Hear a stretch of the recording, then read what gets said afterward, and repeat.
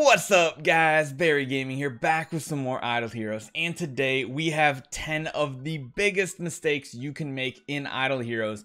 I know I have personally made almost every single one of these when I first started the game, so hopefully I can share some wisdom, some uh, bad experiences that I've done personally. Hopefully you guys don't make it. Some of you probably have done the same exact thing, so let me know in the comments if it's something you've done.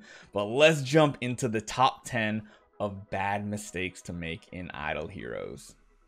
So, starting out this list is the blacksmith, the forge, whatever you want to call it. A lot of people that are new to this game make the big mistake, I know I did, in taking all of these low tier rewards and wasting so much gold just forging the entire stack of them.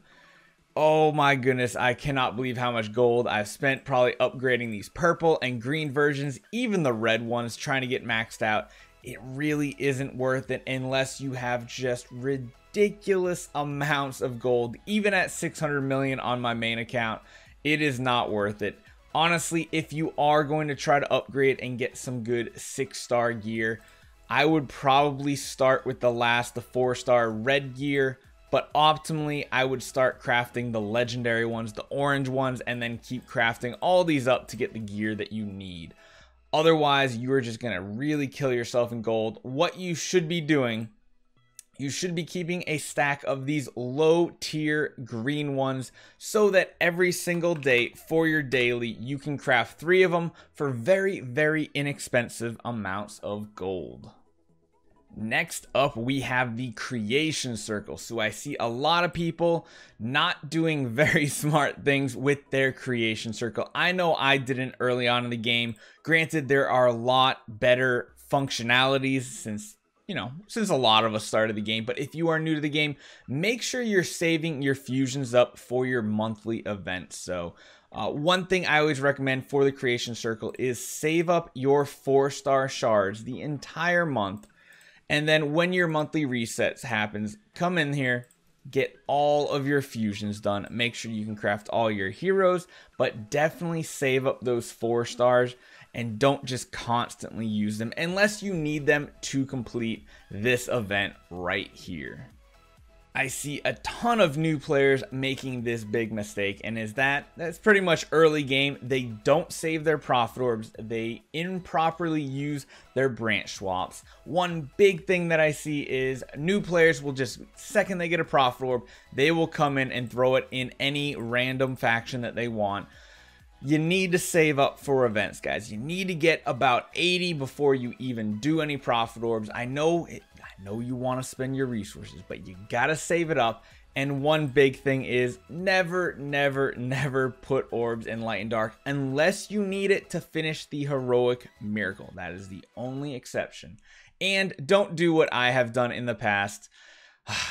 Young Barry has actually done it way back, way back that he would actually replace four star heroes here for 20 branches a swap because he needed them for specific five star creations in the creation circle. Now, granted, you don't need them anymore, but please never, never swap four star heroes. Next up, we have the heroic summoning circle.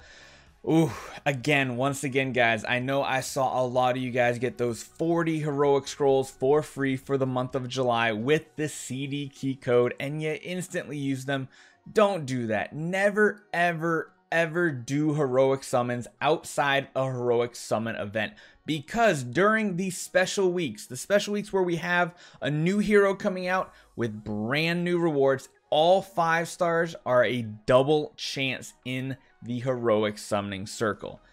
That means a lot more hero copies, a lot more five star food. Definitely save up. And at the very least, I mean, if you're not going to be, if you're early game, you're not saving those 2,000 scrolls to do a full completion at the summoning circle. I would say at least save up 1 to 200 and then do those so you get those extra prophet orbs from the event or at the very least save up to that magic i think it's 300 scroll number so you can get some soul symbols in case you ever need to regress or replace a hero.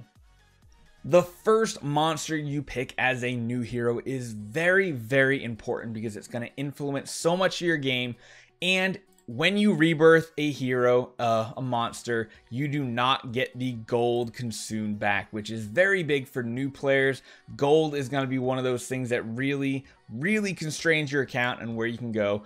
But not building the Phoenix first, in my opinion, is one of the biggest mistakes you can make.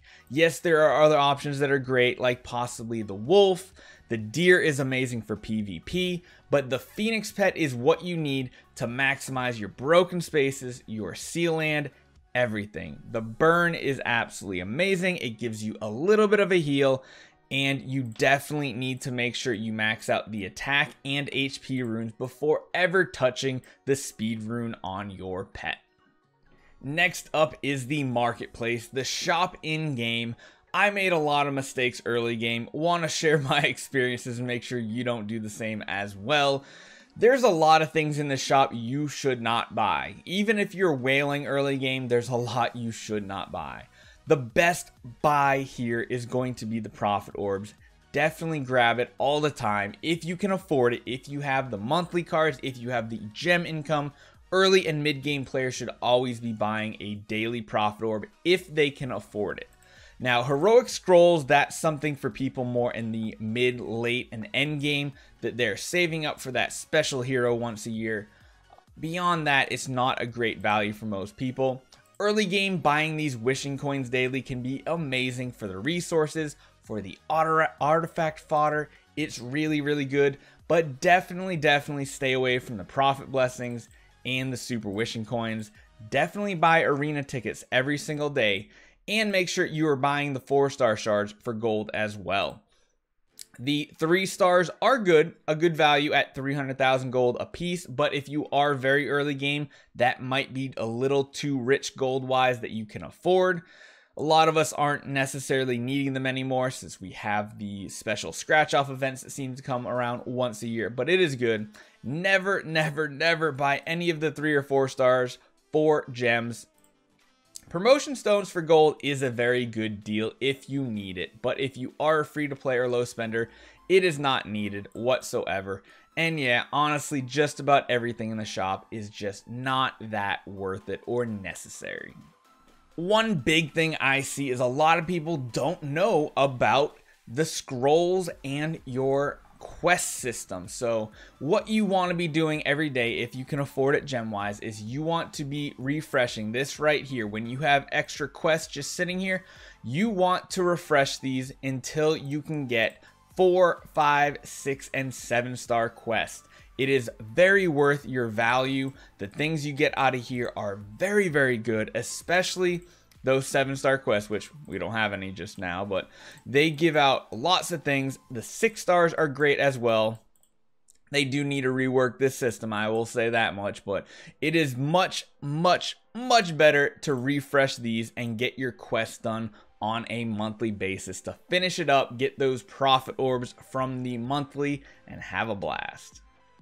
Next up is the Celestial Island. There's a lot of new features here, but there's one big thing that a lot of newer players with lower power heroes make, and that is this watchtower right here. So every two levels that you level it up, your enemies in the expedition become stronger. So the one big thing you need to make sure you do is just don't over level your watchtower for your power. So a lot of people that don't have enabled heroes will level this watchtower up way too high and then they will be unable to kill the Nest of the Void and get all those extra resources. So granted, we do get a lot more petals than we used to. We used to have a lot more islands out here, but now that we only have five maximum, it does make it a little easier and a little more forgiving.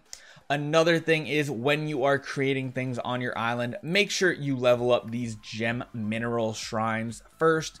They are very, very great for resources. If you are early game, I would stay away from the dust ones completely. It is not something you are going to need if you are progressing slowly. This is great for whales and medium spenders. And then finally, the gold mines, make sure you do not over level them. So the new updates to Celestial Island maximize the level to 60 on these. 40 was the old one. They mathed it out. If you upgrade from 40 to 60, it's going to take you over a year to actually just make the gold back that you invest into it. So if you're in it for the long run, it can be worth it. If not, like me, I don't think I'm going to upgrade it. But again, personal opinion, don't make these mistakes. The altar store comes in at number two. This can be very, very bad. As you can see, Barry did a lot of Barry things on his early game account. He has bought a lot of these, which were not worth it in the long run. You really want to save up your altar store currency for when a big big hero hits it. Every time there is a heroic summoning event, we also have an altar store event. Like for example, this week we're to have an Ada copy and a Delacium copy in this shop. Please do not do what Barry has done. I'm trying to share the wisdom. I know I've done this mistake, so I'm sure a lot of you guys out there are doing it as we speak right now. So learn from me, save up your altar currency, do not buy any other heroes from this store. Last and certainly not least, actually the exact opposite, the most important and biggest mistake I ever made on my Idle Heroes account is the guild coin store. So a lot of people make this mistake. Barry made this mistake very, very early on. Do not make any purchases in this store ever at all. It is not worth it. You are going to waste so much progress on your account by doing what Barry has done right here and bought out a lot of things from this shop, especially these five stars. They are not worth it. Every single guild coin should go into guild tech. It will power up your heroes. It helps you in every single part of the game.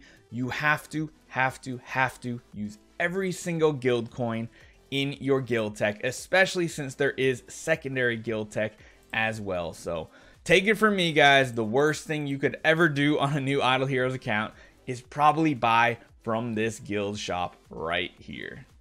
Let me know what you guys think about this list. What other mistakes have you made in game? I know personally I fed off Ada copies early on. I've altered five star heroes as well. There's a bunch of other things you could do, but these I felt like are probably the most common ones that people make a mistake and do. So let me know what you guys think in the comments, and I'll see you guys next time.